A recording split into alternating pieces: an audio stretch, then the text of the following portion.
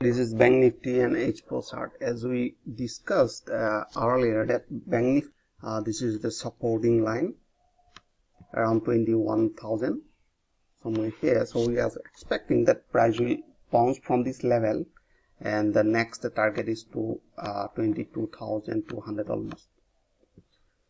And now you can see in a small time frame, uh, so we are expecting that price will hit this level. But if you wanna go for intraday, uh, means uh, we are applying bouncing trading strategy like that here.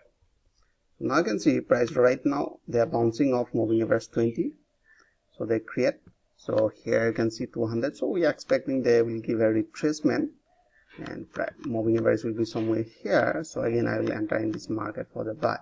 All right so if price not able to retrace then so we'll apply breakout trading strategy somewhere here. So once uh, price break this level we will place buy order little more above this candle and our target will be somewhere here. Near resistance line. We will uh, place our target just below this uh, resistance line. So i hope you enjoyed this video. If you like this video please like and subscribe. Thanks for watching